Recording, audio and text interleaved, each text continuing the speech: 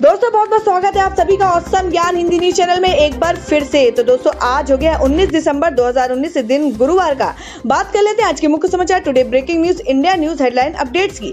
कई सारी महत्वपूर्ण और काम की खबरें ध्यान से पूरे वीडियो के साथ आखिर तक ज़रूर बने रहेगा। जी हाँ दोस्तों, आपको बता दें, मोदी सरकार की बड़ी घोषणाएँ आई है और बड़ा नियम है और बड़ा ऐलान किया है। इसके अलावा, दोस्तों अलग अलग राज्यों से आई हुई बेहद से लग करके लाई गई खबरें जो केवल केवल आपके काम की है। एक एक करके हम आपको तमाम इन बड़ी खबरों के बारे में जानकारियाँ देंगे, पर उससे पहले आपसे एक निवेदन है, दोस्तों अगर आपको आज का मुख्य समाचार टुडे ब्रेकिंग न्यूज़ अच्छा लगे तो जल्दी से इसको एक लाइक कर दे और इसे ज़्यादा से ज़्यादा अपने फेसबुक और व्हाट्सएप पर ज़रूर शेयर करें। तो अच्छा बात कर लेते हैं आज के माइंड को इसके सवाल का। आज का सवाल है, आपको बताना है कि मध्य प्रदेश की राजधानी कहाँ है? इसका जवाब आपको वीडियो के नीचे कमेंट बॉक्स में देना है और सही जवाब देने वालों को रैंडमली सिलेक्ट किया जाएगा और वो जीत सकते हैं बंपर पुरस्कार। तो चलिए अब सीधा जाते हैं आज की ताज़ा बड़ी खबर की ओर।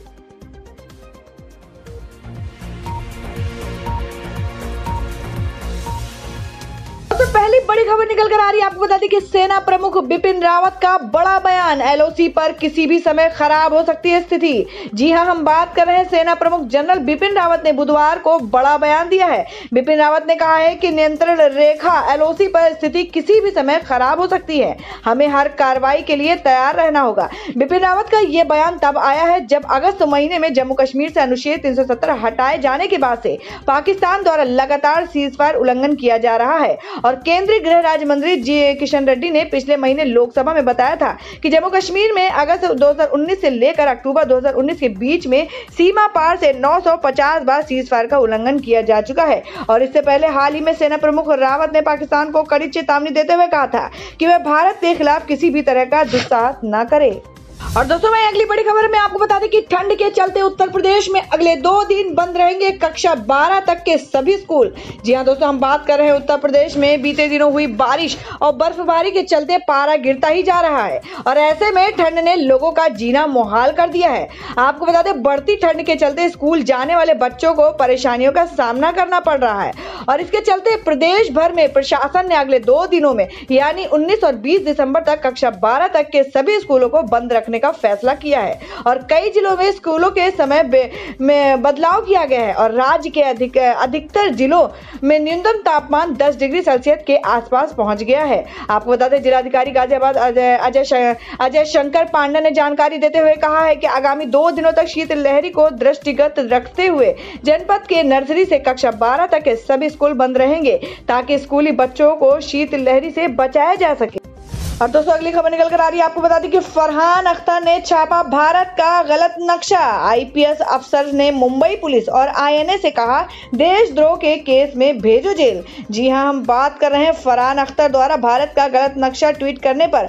आईपीएस अधिकारी joint secretary parliament of India Sandeep Mittal ने बॉलीवुड अभिनेता पर कानूनी कार्रवाई की मांग की है। आईपीएस अधिकारी संदीप मित्तल ने मुंबई पुलिस और एनआईए को टैग कर ट्वीट करते हुए कहा है कि आपने जो किया है, वो आईपीसी की धारा 121 के तहत अपराध है और ये गैर इरादतन नहीं है। उन्होंने अपने ट्वीट में आईपीसी की धारा 121 को समझाने वाले एक यूट्यूब का वीडियो भी शेयर किया है। दरअसल फरहान अख्तर ने बुधवार को कहा था कि वह नागरिकता संशोधन कानून के खिलाफ प्रदर्शन करने के लिए सड़क पर उतरेंगे, क्योंकि सिर्फ़ सोशल मीडिया पर गुस्सा ज़ाहिर करने का वक्त अब निकल चुका है। और दोस्तों, भाई, अगली बड़ी खबर आ रही झारखंड से आपको बता दें कि झारखंड में बोली प्रियंका गांधी। बीजेपी सरकार प्रचार में सुपर हीरो लेकिन काम में सुपर ज़ीरो जी हाँ हम बात कर रहे हैं कांग्रेस की महासचिव प्रियंका गांधी। बुधवार को झारखंड के पाकुर में चुनावी रैली को संबोधित की और रैली को संबोधित करते हुए प्रियंका गांधी ने कहा कि ये यहाँ की जल ज़मीन आदि के मालिक आप हैं और संघर्ष की यह सीख आपको महान योद्धा सिद्धू और कानू से मिली है। और प्रियंका गांधी ने कहा कि आपके जल जंगल ज़मीन के संघर्ष में इंदिरा गांधी जी हमेशा आपके साथ रही हैं और इन पर आपका अधिकार बरकरार रखने के लिए काम किया। और दोस्तों, अगली खबर निकल कर आ रही है। आपको बता दें कि सलमान खान ने चुकाए स्पॉट बॉय की बकाया धनराशि। शूटिंग के सेट पर किया एक और नेक काम। जी हाँ हम बात कर रहे हैं बॉलीवुड सुपरस्टार सलमान खान। इन दिनों अपनी अपकमिंग फ़िल्म दबंग थ्री के प्रमोशन में काफ़ी बिज़ी चल रहे हैं। और इसी बीच सलमान ने कुछ ऐसा कर दिया है जिसे लेकर उनकी जमकर तारीफ़ की जा रही है। आपको बता दें, मीडिया रिपोर्ट्स के अनुसार सलमान ने अपनी फ़िल्म के सेट पर एक स्पॉट बॉय की बकाया धनराशि चुकाकर उसकी मदद की। और एशियन एज की रिपोर्ट ने सूत्रों का हवाला देते हुए बताया कि कई बार ऐसा होता है, जब किसी भी हैक्टिक शूटिंग की वजह से वर्करों की पेमेंट में देरी हो जाती है, जिनमें स्पॉट बॉयज़ भी शामिल है। ऐसे में जब सलमान खान के कानों में जब ये गई तो उन्होंने इस मामले में तुरंत निर्णय लिया और सभी को उनके पैसे समय पर मिल जाए। रिपोर्ट में ये भी कहा गया कि हाल ही में राम सुजन सिंह नाम के एक एक्टर ने देखा कि सलमान बैठकर खाना खा रहे हैं। उन्होंने बताया कि एक व्यक्ति को उनके साथ बैठकर खाना खाना था तो सलमान ने वैसा ही किया और उनके साथ बैठ गए। वैसे कहा सलमान खान के लिए ऐसा कहा जाता है कि वह किसी को दुखी या परेशान नहीं देख सकते। वह हमेशा अपने फ़िल्म सेट पर सभी को हंसाने की कोशिश करते रहते हैं और ये बेहद कम ही देखने को मिलता है जब कोई बड़ा सुपरस्टार इस तरह से अपने करीब लोगों की इच्छाओं को पूरा कर जाए, पूरा करता जाए। और दोस्तों, मैं अगली खबर निकल कर आ रही है। आपको बता दें कि एनसीएलटी से टाटा ग्रुप को बड़ा झटका। एन शेखरन की नियुक्ति अवैध। मिस्त्री को फिर कार्यकारी चेयरमैन बनाने का है आदेश। जी हम बात कर रहे हैं तीन साल पहले बड़े ड्रामे के बाद। साइरस मिस्त्री को हटा दिया गया था। उन्हें आज बुधवार को national company law appellate tribunal से बड़ी राहत मिली है एनसीएलटी ने उन्हें टाटा सन्स का एग्जीक्यूटिव चेयरमैन के पद पर फिर से बहाल कर दिया है। और दोस्तों, मैं अगली बड़ी खबर में आपको बता दें कि अंग्रेज़ी के लिए कांग्रेस सांसद शशि थरूर को साहित्य अकादमी का मिलेगा पुरस्कार। जी हम बात कर रहे हैं, साहित्य अकादमी ने अंग्रेज़ी के लिए डॉक्टर शशि थरूर, हिंदी के लिए नंद किशोर आचार्य, उर्दू के लिए शाफे किदवई और पंजाबी भाषा के लिए किरपाल कजाक समेत तेईस भारतीय भाषाओं के रचनाकारों को वर्ष 2019 का प्रतिष्ठित प्रतिष्ठित साहित्य अकादमी पुरस्कार देने की बुधवार को घोषणा की गई है। दोस्तों, वहीं अगली एक और बड़ी खबर आ रही जामिया से आपको बता दें कि जामिया शिक्षक संघ की पीसी, एनआरसी और सीएए को बताया असंवैधानिक। जी हम बात कर रहे हैं जामिया मिलिया इस्लामिया केंद्रीय विश्वविद्यालय के शिक्षक संघ ने बुधवार को एक प्रेस कॉन्फ्रेंस कर नागरिकता संशोधित कानून और राष्ट्रीय नागरिक रजिस्टर को संविधान विरोधी बताया है। और आपको बता दें कि शिक्षक संघ ने कहा है कि शांतिपूर्ण विरोध प्रदर्शन सबका हक है, लेकिन दिल्ली पुलिस ने जिस तरह अनभिज्ञ छात्रों को पीटा गया, वह दुखद है। और शिक्षकों ने अपनी पीसी में मांग मांग की कि पुलिस लाठीचार्ज में जामिया की संपत्ति को जो नुकसान हुआ है, उसकी भरपाई की जाए। और दोस्तों अगली खबर निकल कर आ रही है कि मोदी सरकार के पूरे मुख्य आर्थिक सलाहकार का दावा कि आईसीयू में है इंडियन इकोनॉमी। जी हाँ हम बात कर रहे हैं मोदी सरकार में मुख्य आर्थिक सलाहकार सीईए रहे अरविंद सुब्रमण्यम ने। देश की मौजूदा अर्थव्यवस्था को लेकर गहरी चिंता व्यक्त की है। उन्होंने कहा है कि फ़िलहाल इकोनॉमी जिस हालात में है, उससे ये साफ़ है कि यह आईसीयू में जा रही है। उन्होंने इकोनॉमी को लेकर कहा कि भारत गहरी आर्थिक सुस्ती में है। बैंकों और कंपनियों की ट्विन बैलेंस शीट क्राइसिस के कारण अर्थव्यवस्था पर भारी दबाव है। और सुब्रमण्यम मोदी सरकार के पहले मुख्य आर्थिक सलाहकार थे, लेकिन पिछले साल अगस्त में पद छोड़ दिया था। और दोस्तों मैं अगली एक और बड़ी खबर में आपको बता दें कि आर्टिकल 370 हटने के बाद पहली बार खुली श्रीनगर की मुख्य जामिया मस्जिद। जी हाँ, हम बात कर रहे हैं जम्मू कश्मीर के विशेष दर्जा खत्म होने के बाद। बुधवार को पहली बार श्रीनगर की मुख्य जामिया मस्जिद फिर से सामूहिक नमाज़ के लिए खोली गई है और शहर की ये मुख्य मस्जिद पिछले करीब चार महीने से बंद थी। और जब से केंद्र सरकार ने वहाँ से आर्टिकल तीन सौ सत्तर खत्म किया था, दरअसल इलाके में भारी सुरक्षा बलों की तैनाती के चलते लोग यहाँ नमाज़ पढ़ पढ़ने नहीं आ रहे थे, लेकिन हालात सुधरने के बाद सुरक्षा कर्मियों की संख्या घटी है और जिसके चलते बुधवार को लोग सामूहिक नमाज़ के लिए एकत्र हो गए। और दोस्तों, अगली बड़ी खबर आ रही है बंगाल से। आपको बता दें कि कैलाश विजयवर्गीय का आरोप है कि ममता बनर्जी के निर्देश पर गुंडों ने मेरी गाड़ी को है घेरा। जी हम बात कर रहे हैं भारतीय जनता पार्टी के दिग्गज नेता कैलाश विजय वर्गीय के काफिले को पश्चिम बंगाल के नवग्राम इलाके में भीड़ द्वारा घेर लिया गया। और जिसके बाद उन्होंने आरोप लगाया कि राज्य सरकार ने उनकी कोई मदद नहीं की। ममता बनर्जी के निर्देश पर हमें रोकने की कोशिश की जा रही है। उन्होंने कहा कि पश्चिम बंगाल की अराजक सरकार में किसी की जान सुरक्षित नहीं है। और बता दें कि कैलाश विजयवर्गीय एक कार्यक्रम में भाग लेने मुर्शिदाबाद जा रहे थे। और दोस्तों मैं अगली खबर निकल कर आ रही है। आपको बता दें कि प्रकाश राज ने कहा किसी को भी अपनी आवाज़ दबाने मत दो। जी हाँ हम बात कर रहे हैं देश की राजनीतिक घटनाओं पर। बेवाकी से अपनी राय रखने वाले फे, फ़ेमस एक्टर प्रकाश राज ने नागरिकता एक्ट को लेकर मोदी सरकार पर निशाना साधा है। प्रकाश राज ने नागरिकता संशोधन कानून पर जामिया मिल्लिया इस्लामिया विश्वविद्यालय और ए के छात्रों का समर्थन किया है। उन्होंने बुधवार को ट्वीट कर कहा कि किसी को अपनी आवाज़ मत दबाने दो। उनका ये ट्वीट वायरल हो रहा है।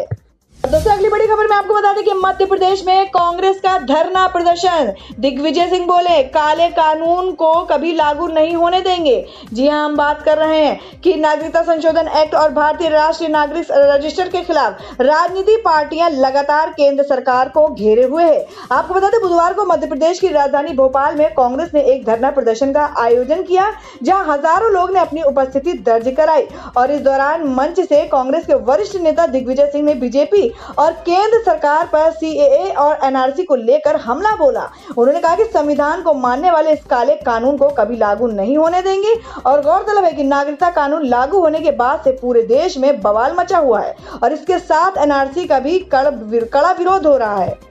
और दोस्तों, अगली खबर में आपको बता दें कि जामिया हिंसा में छात्र की आँख की रोशनी गई। बोला, मैं लाइब्रेरी में पढ़ रहा था, मुझे क्यों मारा?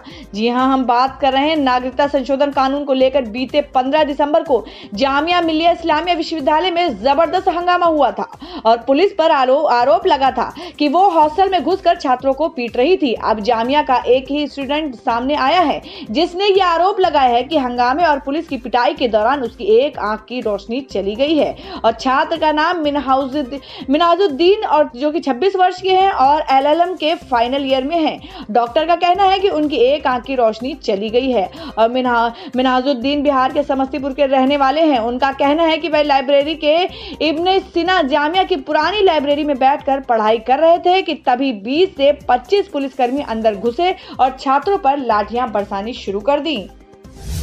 और दोस्तों, मैं अगली खबर निकल कर आ रही कि ओडिशा के मुख्यमंत्री बोले, हम एनआरसी के समर्थन में नहीं है। हमने कैप को वोट दिया है। जी हाँ बात कर रहे हैं नागरिकता संशोधन बिल को ओडिशा के बीजू जनता दल के अपना समर्थन दिया था। लेकिन इस बिल को समर्थन देने के बाद ओडिशा के मुख्यमंत्री और बीजेडी के मुखिया नवीन पटनायक ने बड़ा बयान दिया है। आपको बता दें, नवीन पटनायक ने कहा है कि उनकी पार्टी बीजू जनता दल में एनआरसी का समर्थन नहीं किया है। हमारी पार्टी ने नागरिकता संशोधन बिल का संसद में समर्थन किया था और नागरिक नागरिकता संशोधन एक्ट का भारतीय नागरिकों से कोई लेना देना नहीं है। और पटनायक ने कहा है कि ये कानून सिर्फ़ विदेशी नागरिकों के लिए है। और बीजू जनता दल के सांसदों ने लोकसभा और राज्यसभा दोनों ही जगह पर साफ़ किया है कि हम एनआरसी का समर्थन नहीं करते हैं। तो दोस्तों, खबरों में आगे बढ़ने से पहले एक बार फिर से आपको याद दिला दें कि अगर आपने अभी तक हमारे वीडियो को लाइक नहीं किया है तो जल्दी से इसको एक लाइक कर दे, क्योंकि आपका एक लाइक जैसा कि मैंने कहा, हमारे लिए बहुत ही ज़्यादा महत्वपूर्ण होता है। और इसे अपने फ्रेंड्स के साथ ज़रूर शेयर करें। और अगर आप हमारे चैनल पर नए अब तक आपने हमारे चैनल को सब्सक्राइब नहीं किया तो जल्दी से हमारे चैनल को सब्सक्राइब कर ले और बेल के बटन को भी ज़रूर हिट कर दें। तो बढ़ते हैं अगली बड़ी खबर की ओर। तो भाई, अगली बड़ी खबर में आपको बता दें कि जामिया छात्रों के सपोर्ट में आई ट्विंकल खन्ना। जी हाँ दोस्तों, आपको बताया कि उन्होंने क्या कहा है ट्वीट करके। तो आपको बता दें कि राजधानी दिल्ली में नागरिकता संशोधन कानून के विरोध में रविवार को हुए हिंसक प्रदर्शन के दौरान पुलिस की कार्रवाई का अब सोशल मीडिया पर विरोध हो रहा है। और मीडिया में ऐसी खबरें हैं कि दिल्ली पुलिस ने विरोध कर रहे जामिया के छात्रों पर लाठियाँ भांजी और मारपीट की। इन खबरों के बाद देश भर से लोग जामिया के छात्रों के समर्थन में आ रहे हैं। और बॉलीवुड अभिनेत्री और अक्षय कुमार की पत्नी ट्विंकल खन्ना सहित कई स्टार्स ने छात्रों को सपोर्ट किया है।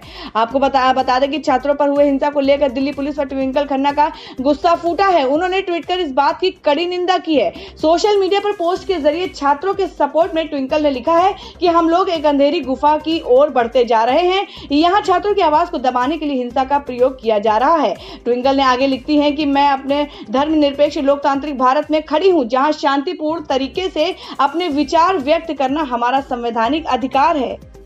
और दोस्तों, वही अगली बड़ी खबर आ रही है। दिल्ली से आपको बता दें कि वकीलों पर मेहरबान सीएम केजरीवाल। पाँच लाख का मेडिकल और दस लाख की जीवन बीमा का किया ऐलान। जी हाँ दोस्तों, हम बात कर रहे हैं दिल्ली के मुख्यमंत्री अरविंद केजरीवाल ने वकीलों को लेकर बुधवार को बड़ा ऐलान किया है। उन्होंने कहा कि जितने भी वकील हैं, जो भी दिल्ली में वोट डालते हैं, उन्हें हमारी सरकार पाँच लाख रुपए तक का मेडिकल इंश्योरेंस देगी और इसके अलावा सभी वकीलों का दस लाख रुपए तक का जीवन बीमा कराया जाएगा। और वहीं सीएम में राजधानी के सभी न्यायालयों में ई लाइब्रेरी और शिशु गृह खोलने की भी बात कही है। और दोस्तों, एक और बड़ी खबर में आपको बता दें कि अरविंद केजरीवाल ने कहा है, जिन्हें चुनाव में हारने का है डर, वही भड़का रहे हैं हिंसा। जी हाँ हम बात कर रहे हैं, दिल्ली से संशोधित नागरिकता कानून के खिलाफ दिल्ली में कई जगह हिंसक प्रदर्शन हुए हैं और जामिया इलाके में हिंसा को लेकर बीजेपी आम आदमी पार्टी पर और सीएम अरविंद केजरीवाल पर निशाना साध रही है। वही पार्टी पर लग रहे आरोपों पर दिल्ली के सीएम अरविंद केजरीवाल की प्रतिक्रिया आई है। आपको बता दें, अरविंद केजरीवाल ने कहा है कि हाल ही की हिंसक घटनाओं में आम आदमी पार्टी का नाम घसीटने की कोशिश की की जा रही है। अरविंद केजरीवाल बोले, जिसे हार का डर, वही दंगे करवा रहा है। और आपको बता दें कि बीजेपी के आरोपों पर अरविंद केजरीवाल ने पलटवार करते हुए कहा, आम आदमी पार्टी ऐसा क्यों करेगी? और हमें इससे कैसे फ़ायदा मिलेगा? आपको बता दें, हम सभी को शांति बनाए रखना चाहिए। उन्होंने पार्टी पर लग रहे आरोपों का जवाब देते हुए कहा कि आगामी चुनाव में जिसे हार का डर है, वही दंगे भड़का रहे हैं। और केजरीवाल ने कहा कि प्रदर्शन शांतिपूर्ण होना चाहिए और इसमें हिंसा नहीं होना चाहिए। तो दोस्तों, अगली खबर निकल कर आ रही है। आपको बता दें कि रेलवे का खास ऑफ़र किराए में मिल रही है पचास फ़ीसदी की छूट। जी हाँ हम आपको बता दें कि अगर आप रेल से सफ़र करते हैं तो आपके लिए एक अच्छा खबर है कि क्योंकि आपको रेलवे से पचास फ़ीसदी का डिस्काउंट मिल सकता है। दरअसल, रेलवे ने एक भारत श्रेष्ठ भारत प्रोग्राम में हिस्सा लेने युवाओं को फ़ायदा पहुँचाने के लिए दूसरी श्रेणी में मुल्क किराए पर पचास फ़ीसदी का डिस्काउंट देने का फैसला किया है। तो दोस्तों, ये थी अब तक की सभी बड़ी खबरों की अपडेट्स टुडे ब्रेकिंग न्यूज़ और लेटेस्ट खबरों को देखने के लिए हमारे चैनल औसम ज्ञान हिंदी न्यूज़ चैनल से जुड़े रहिए. और हमारे वीडियो को लाइक शेयर ज़रूर कर दे अपने दोस्तों और रिलेटिव्स के साथ. तो दोस्तों, फिर मिलेंगे काम की खबरों और सरकारी योजनाओं की एक और नई वीडियो के साथ. तब तक के लिए धन्यवाद दोस्तों.